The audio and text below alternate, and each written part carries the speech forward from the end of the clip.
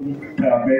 আমি ব্যক্তিগতভাবে অনেক উপজেলার চেয়ারম্যান চেয়ারম্যানদেরকে আমি ব্যক্তিগতভাবে অনেক কথা দিচ্ছি যে, ভাই, আল্লাহ যদি আমাকে চেয়ারে বসায়, আপনাদের সম্মানটুকু রাখব, আপনাদের কথাগুলো আমি রক্ষা করব। আমি সেই কারণে আমি আমার নির্বাহী কর্মকর্তাকে একটু বলতে চাই যে, আপনি আমার জেলা পরিষদের সরকারের তরফ থেকে প্রধান, আমি নির্বাচিত জনপ্রতিনিধির থেকে প্রধান। আমরা দুইজন সমন্বয় করে আমার পরিষদের সবাইকে নিয়ে আমরা ফরিদপুর জেলা পরিষদটাকে একটি আলাদা জায়গায় দান করাতে চাই। কারণ অনেক বিবিধ বক্তব্য আছে। আমিও জানতাম যে জেলা পরিষদের অনেক বরাদ্দ আমার একজন সদস্য ছিল, আমি জানি না, সে কোন জায়গা থেকে বলছে। হেমন্ত বলছে যে, জেলা পরিষদে প্রতি বছর সত্তর থেকে আশি কোটি টাকা নাকি বলে নিজেদেরই ইনকাম এই কথাগুলোর কোনো মূল্য নাই। আমি আমি কলমে সব দেখে এবং জেলা পরিষদ নিয়ে কিন্তু একটি প্রচলিত আছে।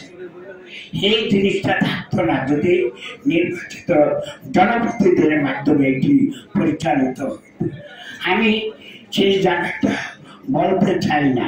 কিন্তু আমি কাজের মাধ্যমে আমরা জেলা পরিষদের সমস্ত কিছু স্বচ্ছভাবে সবাইকে দেখাইয়া আমার হাতে দশ টাকা আছে।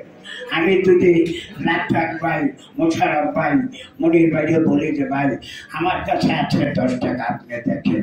এই দশ টাকার মধ্যে আমি উন্নয়ন করব। এটা জানানো দরকার। কারণ আমিও চাচ্ছি জেলা পরিষদের সমস্ত কিছু একটি স্বচ্ছভাবে ফরিদপুরের নয়টি উপজেলার জনগণ আমাকে ভোট দিয়ে নির্বাচিত করেছে। আমি চাচ্ছি সবাইকে দিয়া মিলেমিশে সর্বোচ্চ গুরুত্ব দিয়া ফরিদপুর জেলা পরিষদের যতদূর সম্ভব আমরা উন্নয়নের ব্যবস্থা করব এবং আমি আমার নির্বাহী কর্মকর্তা, আমার সদস্যবৃন্দ আমার জেলা পরিষদের চেয়ারম্যান বিন্দু, আমাদের আওয়ামী লীগের সভাপতি আছেন, সেক্রেটারি আছেন। ফরিদপুর জেলার বিভিন্ন পৌরসভার মেয়রগণ এবং আমার নির্বাচিত বারো জন সদস্য, নয় জন পুরুষ এবং তিনজন সংরক্ষিত প্রধানমন্ত্রী যদি ক্ষমতায় থাকবে তাহলে কিন্তু আমরা ক্ষমতাবান হ্যাঁ প্রধানমন্ত্রী জননেত্রী শেখ হাসিনা ক্ষমতায় না থাকলে কিন্তু দক্ষিণবঙ্গের উন্নয়ন নাই। প্রধানমন্ত্রী ছিল বিধায় আজকে পদ্মা পদ্মা সেতু। আজকে ভাঙ্গার অনেক উন্নয়ন, ফরিদপুরের অনেক তাই সেই এক বছর সময় আমরাও যাব।